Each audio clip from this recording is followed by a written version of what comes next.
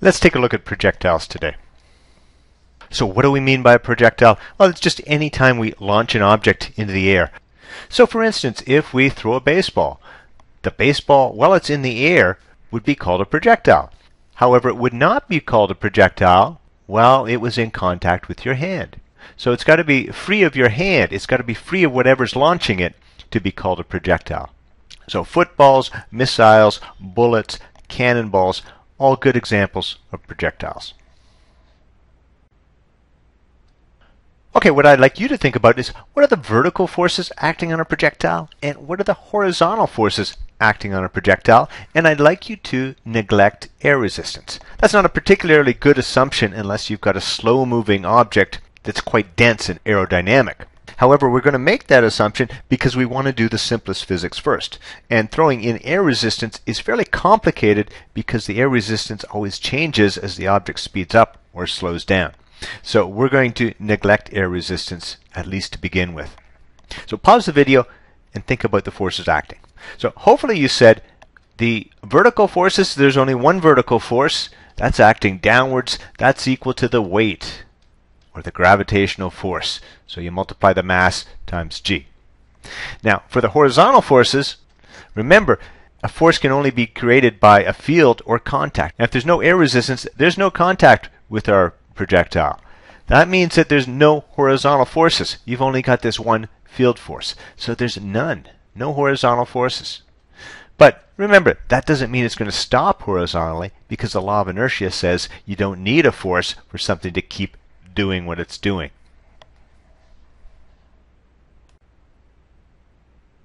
Now, before we get into this, what I'd like you to do is to recall what happened when we just dropped objects from rest. So if we launch our object at time t equals 0 seconds, and we're just dropping it from rest, so it's starting with an initial speed of 0, and it hasn't fallen any distance yet. Then we wait for 1 second, so this would be 1 second, so 1 second of time of fall. The speed, remember, it's going to gain, well, 9.8 meters per second of speed every second, or I'm going to round that to 10 meters per second of speed every second. So the speed would have to be 10 meters per second after one second. Now, the distance that it goes, well, keep in mind, it started at zero speed, ended up at 10 meters per second, and it was gaining speed at a constant rate. So the average speed should be halfway between 10 and 0. It should be 5 meters per second. And if you go 5 meters per second for one second, you'll go a distance of 5 meters. So this distance here would be 5 meters. Now let's go to 2 seconds. So at 2 seconds, the speed should be 20 meters per second. It gained 10 meters per second of speed every second for 2 seconds. The distance traveled, well, halfway between 0 and 20 would be the average speed, which is 10 meters per second. And if it travels at 10 meters per second for 2 seconds, it should go 20 meters. So this distance here should be 20 meters. Let's go for the third second. The speed now should be 30 meters per second. Average speed halfway between 0 and 30 is 15 meters per second. If you go 15 meters per second for 3 seconds, you should go 45 meters. So this distance here is going to be 45 meters. And if we did it again, fourth second, we would get a speed of 40 meters per second, and we'd get a distance here of 80 meters. You can check this out yourself. These distances are equal to 5t squared. So if I put in, say, t equals 2, I get 5 times 4, 20 meters, which checks out here. And you'll probably recall that we had this formula when we were dealing with constant acceleration problems, that the displacement would be equal to the initial velocity times time plus 1 half a t squared. Well, if we're dropping from rest, our initial speed is 0. Our acceleration is simply 10 here, so we're really getting that delta x equals 1 half, a is 10, times t squared, or 5t squared. So the distance falling from rest is going to be given by 5t squared. What I'd like you to do is to keep these numbers in mind. 5 meters, 20 meters, 45 meters, 80 meters. That's how far the ball will drop after 1 second, 2 seconds, 3 seconds, and 4 seconds. Okay, so hopefully you remember those numbers for just dropping a ball straight down. 5, 20, 45, 80. So after one second, our ball should fall 5 meters. I'm going to let 1 centimeter here represent 5 meters. After 2 seconds, it's supposed to fall by 20 meters, which would be right here. And after 3 seconds, it should fall 45 meters, which is down here. Now, let's pretend there was no gravity, and we just threw the ball with a speed here of 10 meters per second horizontally across. Then it's always going to go at the same speed. And if we look at one second intervals, it should move across by 10 meters in the first second. And then another 10 meters, and another 10 meters, and another 10 meters, etc. But it's always moving across by 10 meters every second. And I'll denote this line, but I'll call it the no gravity line. So that's the horizontal motion, independent of the vertical motion. Now what we're going to do is turn gravity back on. And what gravity is going to do is bring it down by exactly these same distances in the same amount of time. So after one second, the ball wouldn't be here anymore. If we turn on gravity, gravity is going to bring it down by 5 meters, and it's going to be here. And then after two seconds, gravity is going to bring it down by 20 meters. And it's going to be right here. And then after three seconds, gravity's going to bring it down by 45 meters. And it's going to be right here. So you can see the shape of the flight of the ball is parabolic.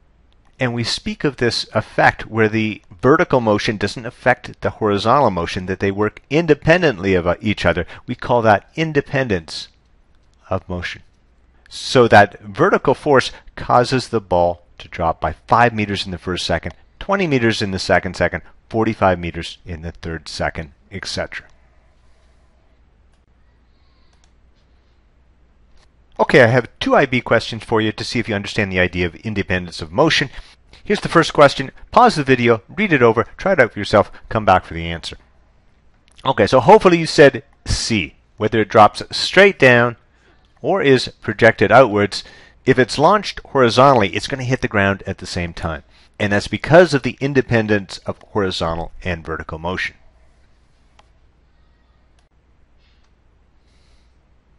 Here's the second question. Pause the video, read it over, try it out for yourself, come back for the answer.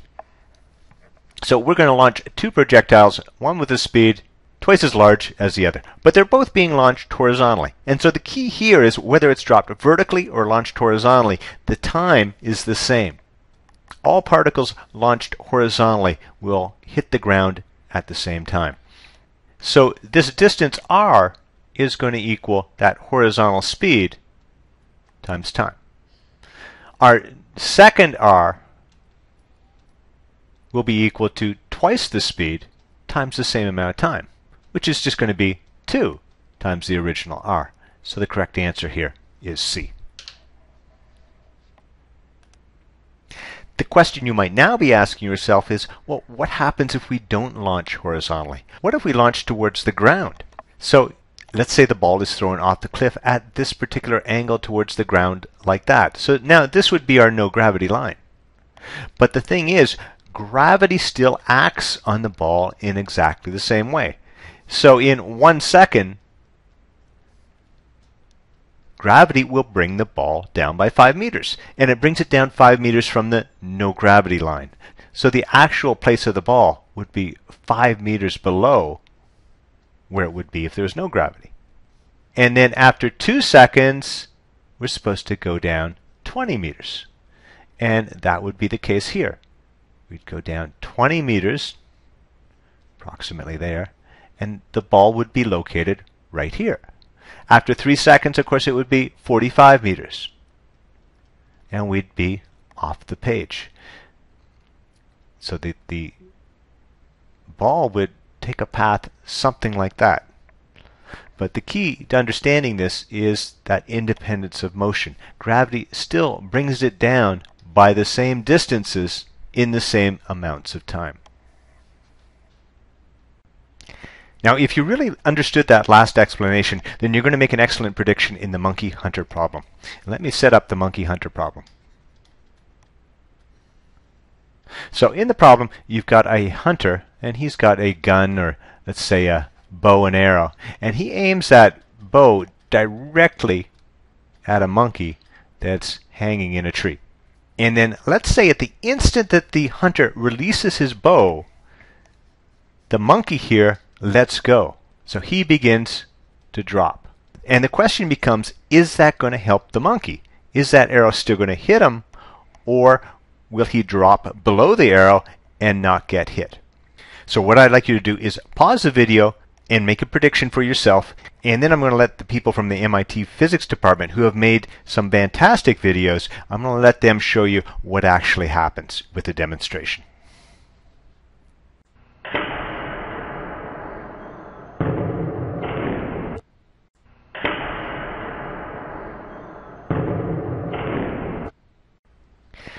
So what's going on there? Being as both objects were released at exactly the same time, they both fall the same distance from the no gravity line. The monkey falls straight down, whereas the arrow takes a parabolic path, but it still falls the same distance from the no gravity line as the monkey because they're both in the air for the same amount of time. Now very quickly wanted to come back to this diagram to give you a visual representation of the components of the velocity vector we said that there weren't any horizontal forces, and that means there's no horizontal acceleration, which means the horizontal velocity remains constant. So if we throw this off the cliff going at 10 meters per second, it's still going to be going at 10 meters per second as it continues to fall. And I should draw all these vectors the same length. The vertical motion, well, it starts out with zero velocity one second later, it should be going at 10 meters per second. And the reason it should be going at 10 meters per second is because the acceleration is, well, 9.8, which is approximately 10 meters per second of speed gained every second. So after one second, it should be going 10. And then after two seconds, should gain another 10 meters per second of speed. So it would be going 20 meters per second after two seconds. And then it would be going 30 meters per second after 3 seconds. So if we add these vectors, construct a parallelogram, you'll find the resultant lies tangential to that parabola, which is to say the velocity is of course going to be tangential, which means of course that the instantaneous velocity remains tangential to the path of the motion. So the vertical component keeps changing by 10 every second, but the horizontal component doesn't change at all. Here's an IB question on the horizontal and vertical components, in this case of the speed rather than the velocity. The rating's a bit small, so let me read the question. A projectile is fired from the ground at time t equals 0. It lands back on the ground at time t equals capital T.